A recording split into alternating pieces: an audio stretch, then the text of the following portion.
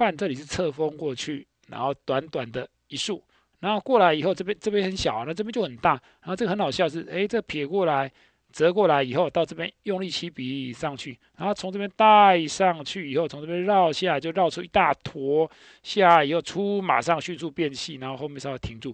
那所以这一段变得非常粗细，这里面要有交错，包含撇的交错、绕上去的交错和拉下来的交错，所以交错部位非常的多哈。